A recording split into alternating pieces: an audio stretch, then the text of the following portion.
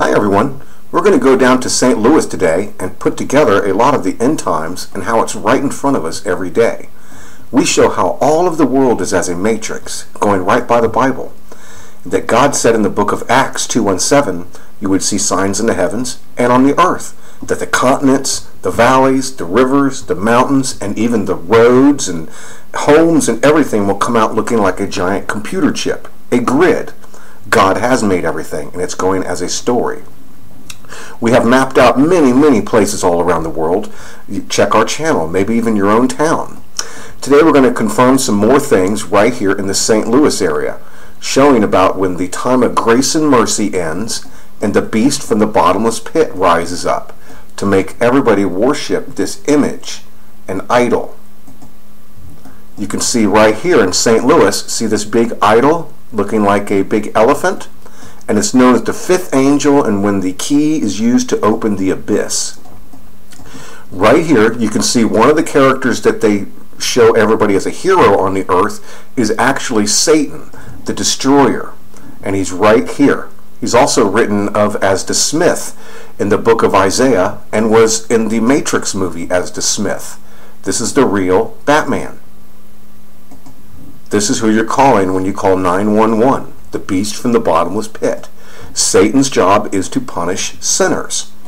So that's what he does right there. He's coming with this big bear. See this bear here? This represents when he, remember, he thinks it is time for to come and judge mankind. The Batman is bringing Russia and everybody to punish the USA. Your hero, Batman, is going to burn the USA. This is all of the world leaders working together, and they will give their power unto the beast, just as in the movie where everybody was trying to work with Batman to get rid of Superman. All of the world will give its power to this beast.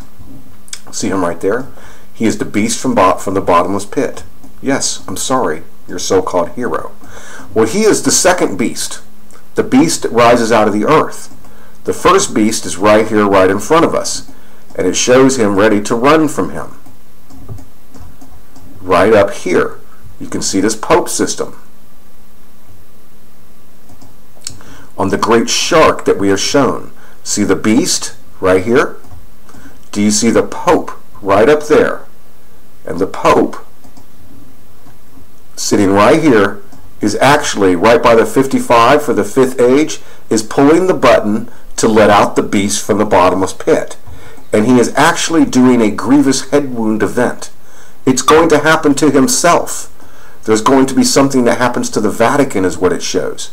Because right here, it shows the nuke ending the time of this dog, mean, meaning grace and mercy, and there is the Pope receiving a grievous head wound, or whoever, who knows, maybe it's Obama or one of the other nation's leaders. But just see how perfect that is. Let's get it all perfect on here. Let's get the bear on there. There we go. Now see that that's all by the line. See the shark that we've even shown before? The Revelation 13 beast out of the sea and the Revelation 13 beast out of the ground, out of the earth. See him right there? So let's take all this off for a second. Here we go. Do we know a date? We don't know. That is this picture right here, all of these nations. See Russia involved? The nuclear football being kicked. But I just wanted to show that that's all right in front of us.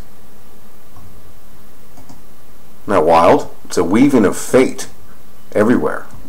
We don't know a time or date. But see that nuke? Boom. And then he rises back up with the beast. And then the other beast rises. It shows it right in the Bible. That's why we're going to keep watch on this Friday the 13th. There will be symbolism of this beast rising. It, in whatever way. It doesn't mean the world has to blow up. See the beast out of the sea, and then the beast out of the earth, and the mark of the beast coming. There it all is, the Revelation 13 beasts. Both of them.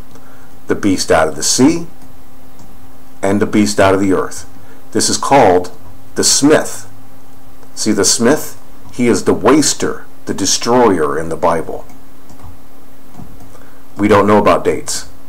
But everything's going according to the script of the Bible. So let's keep watch. Confess with your mouth the Lord is Jesus. Believe in your heart God hath risen him from the dead, and you'll be saved. Hallelujah. So we can see that the Pope, and one of them is one of the ones that we use the key to open the abyss. And this is what comes out of the abyss the Batman, Locust, coming out. And that's when the grievous head wound happens. Right in front of us. Isn't that wild? So there it all is. The beast from the pit being risen up. And up here's the beast out of the sea. The grievous head wound happens. Confess with your mouth the Lord is Jesus. Believe in your heart God hath risen him from the dead, and you'll be saved. Hallelujah. Thank you very much, Obey. I'll see you at the wedding feast of the Lamb. Keep faith. Everything's going according to plan. As crazy as it is, it's written like a giant movie. So let's enjoy the adventure. Hallelujah.